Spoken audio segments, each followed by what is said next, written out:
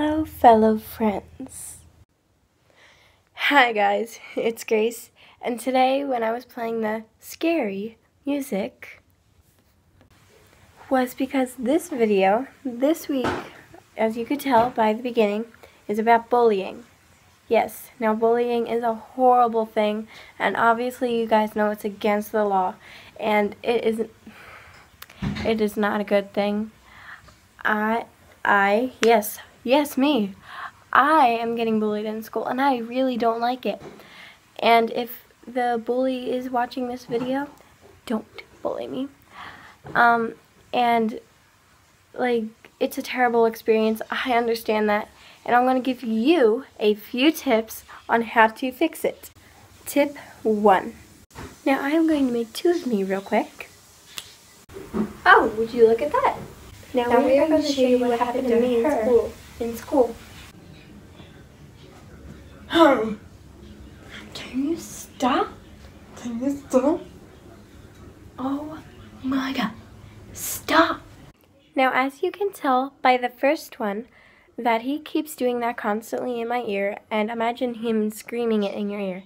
It's annoying, rude, and that's technically bullying, guys. So, if anything like that happens to you, go to the guidance office, assistant principal, tell the teacher, anything. If the teacher doesn't hear, go up and say, Can I go to guidance? Can I tell you something? Can I talk to you in the hall? Something like that, because if not, he'll probably just keep annoying you and annoying you and annoying you. He probably is going to keep doing this because he's just really rude. I really want to say to him, Shut up, but that'll just make him keep doing it. Um, and as you, so in that little scene, you're going to want to say, Can you stop? Okay, so let's go to the next one. One more thing, say it strictly and loud so the teacher can hear you. Second one.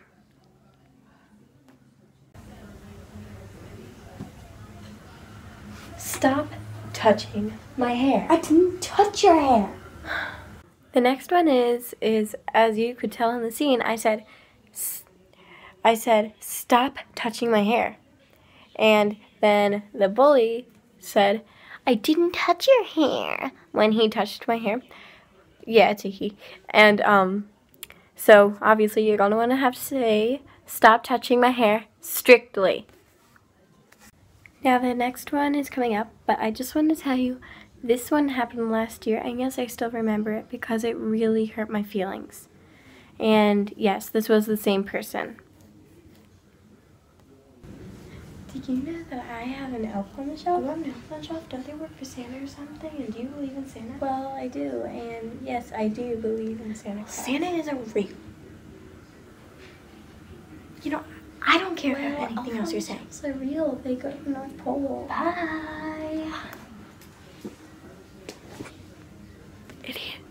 You just heard. And in the other one, you could tell that I was saying like I don't, I believe in Santa, yes, I believe in Elf on the Shelves. So what? I like them, and it doesn't matter what I like and what you don't like, guys. And it doesn't mean that you have to tease me about it.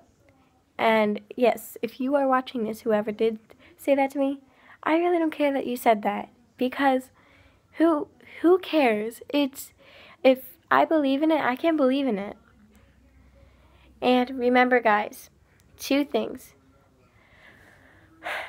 Be yourself and be unique.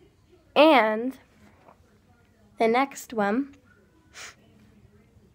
think before you say. Okay? Yeah, think before you say. And as in on internet, like for comments, think before you type.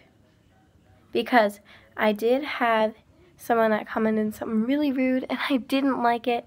I cried and I don't want that person to do it again. So if you are watching this, think before you say, okay? Think before you say. Or should I say, think before you type.